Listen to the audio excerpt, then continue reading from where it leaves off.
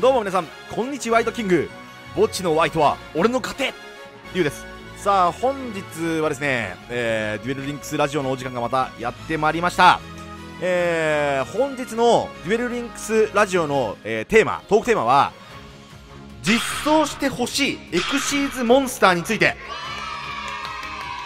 こちらねやっていきたいと思います。あの要するにまあ強いエクシーズモンスターデュエルリンクスに来てほしいデュエ、えー、エクシーズモンスター。こちらをねいくつかご紹介していく放送と、えー、したいなと思っております。えーとですね、あの、ちょっと多くなりそうなので、あの、ランク1からランク5、そしてランク6からランク10みたいな感じで、あの、分けて2本ぐらいにして、あの、動画にしていこうかなと、えー、思うんですが、えーと、今日はランク1からランク、まあ、5ぐらいをご紹介していければなと思っております。大前提として、デュエルリンクスって基本的に、あのー、トラップカードでの妨害が非常に多いと。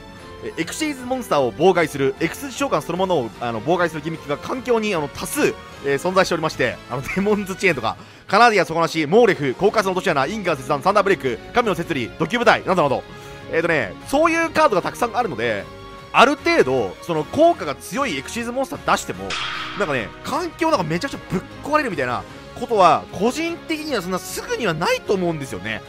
で、その今回の新ボックス、新メインボックス、えー、シャイニングホープで実装されたエクシーズモンスターが、ちょあまりにも残念なモンスターしかいなくてですね、あの、その、あれですよ、ランク戦、対人戦で勝つっていう意味ではですよ、今回のメインボックスのエクシーズモンスターがやっぱちょっと、どうしても環境に一石を投じれるほどのレベル感のモンスターがいなかったんで、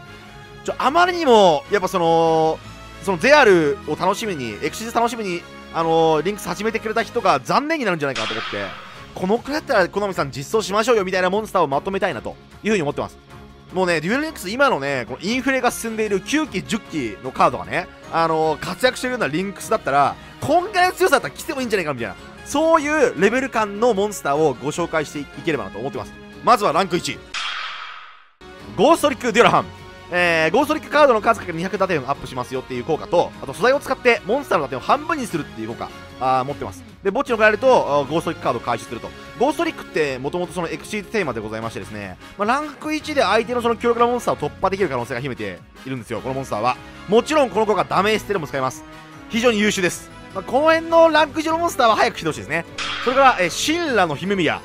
シンラですよ、シンラ皆さん。シンラモンスター。えー、素材を使ってデッキをトップをめくってで魔法トラップだったら手札に加えるとでモンスターだったら墓地を送るっていう魔法トラップ引ければあのアドバンテージ得られるんで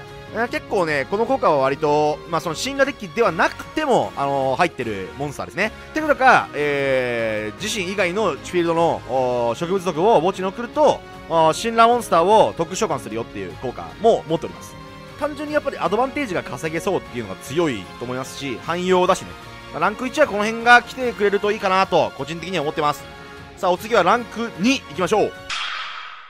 こう。ガチガチガンテス。えー、自分に素材の数だけ、えー、破壊耐性を付与するっていうモンスターですね。ガチガチです。まあ、あの戦闘でも効果でも破壊されないよっていうことなんでね。まあかなり強いと。あの硬いと。自分の場のモンスターの打点が、えー、それの数かける200アップするよっていう効果も持っていると。まあ常時なんかその粉砕みたいなことされてるみたいな感じですかね。結構ねレベル2なんであ、あのバージェストマとかあだとあとガエルとかでも出せますかね。簡単に出せるしあと素材が墓地に行くんでバージェストマの使い回しができたりとかあのするんですよ。バージェストマって普通ほらあのー、フィールドから除外されちゃうじゃないですか。あれがエクシスになったらリセットされるんで、あの、素材が墓地に行くっていう、まあ、最低になるんで、また使い回したりとかできるんで、結構強いですね、このモンスターはね。これ出したら結構硬いんですよ、あの、このモンスター。ワンキル結構難しくなるんじゃないかなと思うんで、相当優秀な壁になってくるそうです。それからバージェストマ、オパビニア。えー、バージェストモンスターって他のモンスター効果を受けないっていう効果がトラップモンスターにもついてるんで、こいつももちろんついてるんですけど、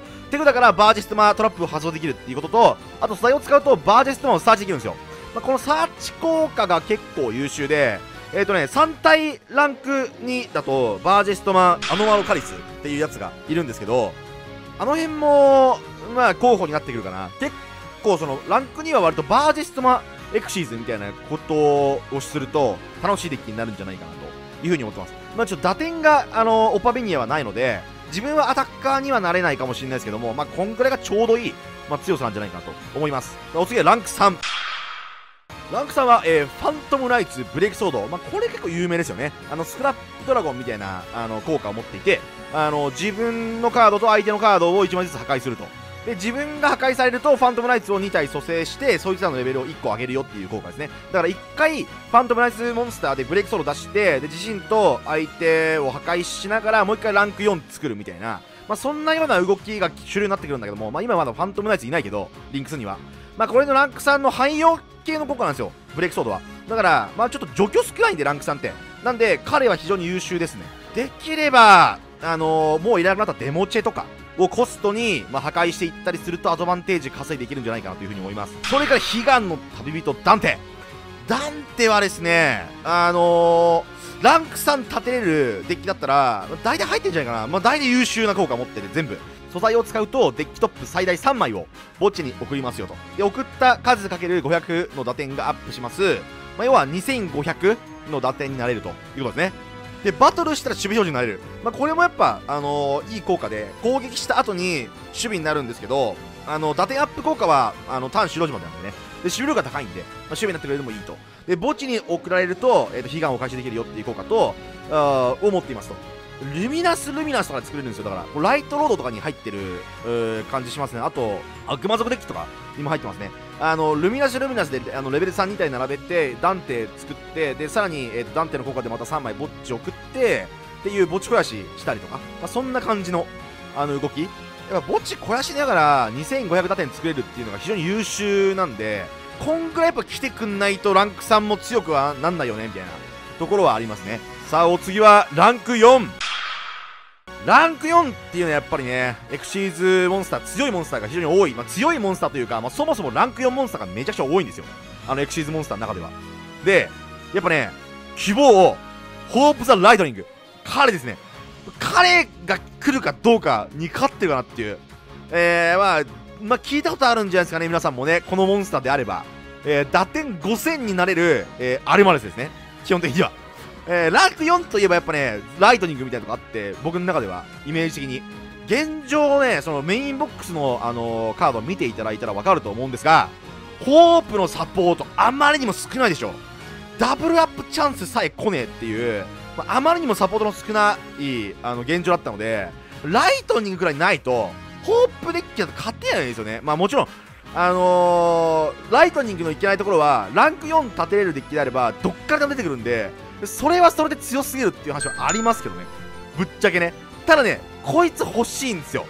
このくらい許してくんねえかなっていうあのー、ホープとホープザライトニング2体入れないといけないんで基本的にはなんで意外とねエクストラデッキの枠は食うんですよね。だからエクストラデッキの枠を使わないくってランク4できるデッキって何があるんだろう？ちょっとわかんないけど思いつかないけどまあリンクセブトラップカード結構強いしね。なんか別にそんなに困ることはねえんじゃねえかみたいな。ことは思います。どう思いますか？さすがにライトニングやべえかな。ライトニングをやりすぎっていう説はもしかしたらあるかもしれん。それからダークリベリオン。エクシーズドラゴンこれはねあのすげえ単純で、えーと、フォース内蔵モンスターですね。フォースあの魔法カードの。まあ、もちろんあの永続アップなのでそのターン終了時まででっていう制約はないんですよ、まあ、一生そのフォースであの奪った相手の打点を上がり続けるっていうモンスターなんでね、まあ、高校で出したら強いかなみたいなぐらいですね。でも効果単純でほんとそれしかないんですよ。そのフォースあの一回するっていうだけの効果なんで、まあ、もちろん強いけどこんぐらい出してくんないとやっぱランク4を立てる気が起きないから。基本的に。現状ねこのぐらいの強さのモンスターを出して初めて環境デッキと渡り合えると思うんですよね。エクシーズモンスターエクシーズデッキって。だからうーん、アーク5のカードなんでこれ。しかもユートさんっていうあの人のメインキャラクターなんで多分ね実装されるのアーク5が来てからなのかもしんないけど、まあ、この辺のモンスター出してくんないときついよ。今ホープだけではね何もできないから。さあお次はランク5ランク5も結構ね強いモンスター多いですね。えー、例えばボルカザウルス。